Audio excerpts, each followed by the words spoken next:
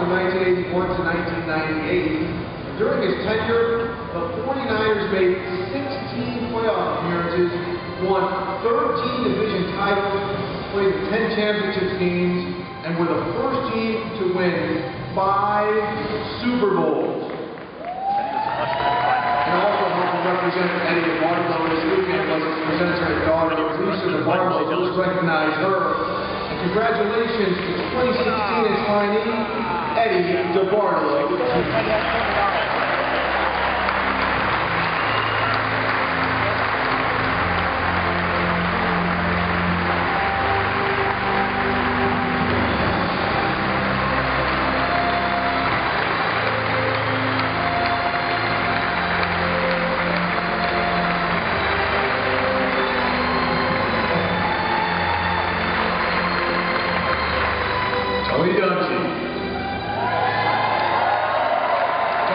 Over a Buccaneers team in 1996 and had suffered 12 double-digit loss seasons in the previous 13. Don't feel so bad, Browns fans.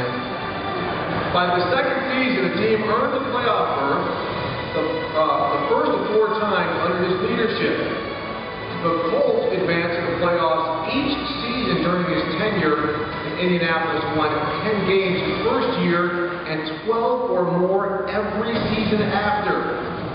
He's the first African American head coach to win a Super Bowl with an overall record of 148, 79, and 0. Let's also recognize Tony's presenter, hopefully one day Pro Football Hall of Famer, Donnie Shell. Congratulations to 2016 enshrinee, Tony Dungy.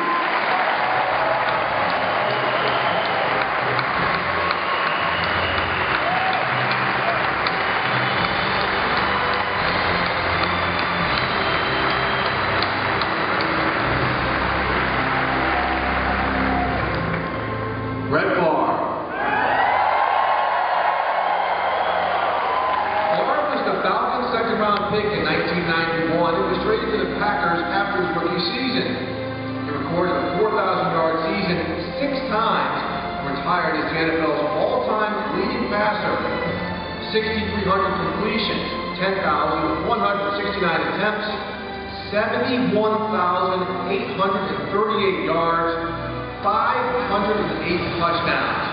Brett was named first team All Pro for three straight seasons, All NFC six times, was selected to 11 Pro Bowls. He was the NFL's MVP three consecutive times in 95, 96, and 97. He's a member of the NFL's All-Decade Team of the 1990s. He's also recognized Brett's presenter and wife, Deanna Favre. Congratulations to 2016 enshrinee,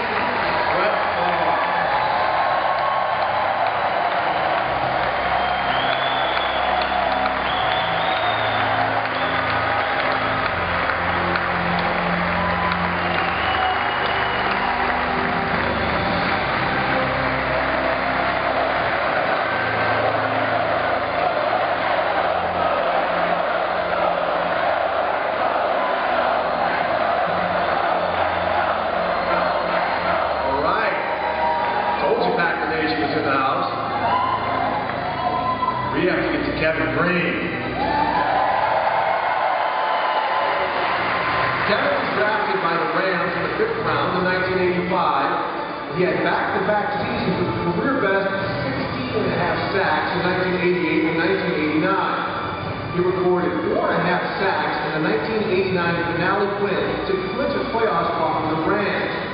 He had double-digit sack totals for 10 seasons and was tied for second all-time in retirement. He has 160 career sacks, five Pro Bowl appearances. He was named first-team All-NFL with the Rams in 1989, the Steelers in 1994, and the Panthers in 1996. He earned NFL sack titles in 1994 and 96 and was elected to the NFL's All-Decade Team in the 1990s. Let's also recognized the presenter for Kevin Greene, Packers defensive coordinator, Dom Capers. Congratulations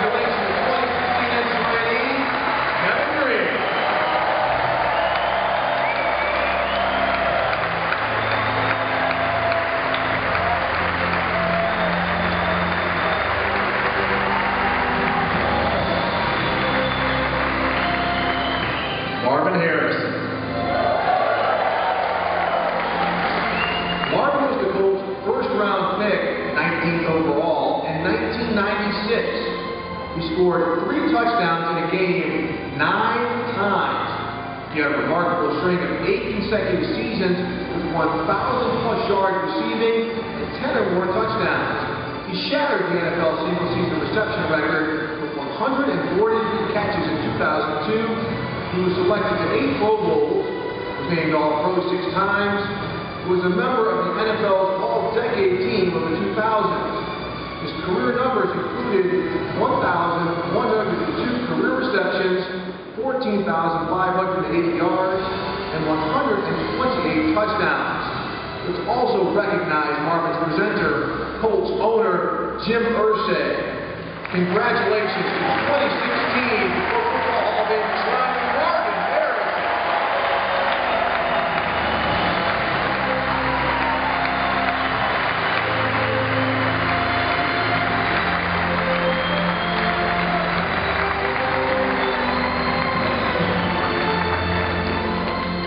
There's some Buckeyes fans uh, in the house as well.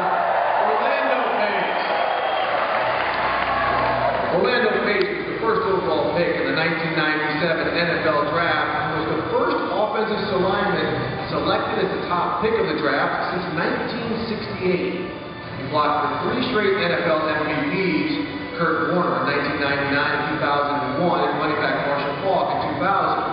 He anchored the Rams' offensive line and helped the quarterback eclipse the 3,000-yard passing mark seven times, including three 4,000-yard seasons. He blocked for seven 1,000-yard rushers. He was named to seven Pro Bowls and was elected to elected All-Pro five times.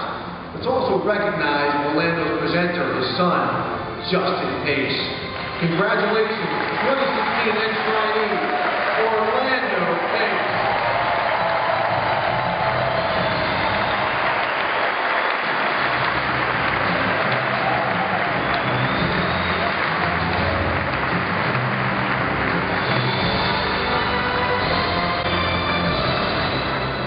The Snake. Kenneth Michael Stabler was drafted in the second round of the 1968 draft by the Raiders. He was a left-handed passer, known for his exciting and flamboyant style, and he combined an impressive 661 winning percentage. He totaled 27,938 yards and 194 touchdowns. He was the first quarterback since the AFL-NFL merger to lead a team to five consecutive conference championships. He was named All-Pro and the NFL's MVP in 1974 and 1976. He was voted to four Pro Bowls and named to the NFL's All-Decade Team. Was the 1970s. Unfortunately, Ken died in July of 2015 at the age of 69. Let's honor the snake here with a loud in the